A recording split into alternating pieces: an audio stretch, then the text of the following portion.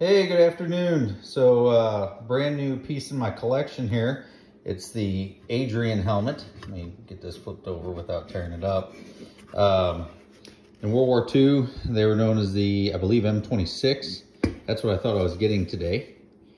But there's no rivets in the comb. You can see where the cockade was there in front, but lack of rivets. And I thought, well, what could this be?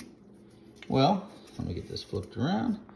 Um, so apparently, in World War One, the French supplied the Italians with Adrian helmets, known as, I think it was the M1915, and uh, they didn't have rivets. They were just as you see. So what I wound up getting for a really good price was a World War One helmet, still an Adrian, still made by the French, but uh, this one has a bit more history, seeing as it was issued to the Italians.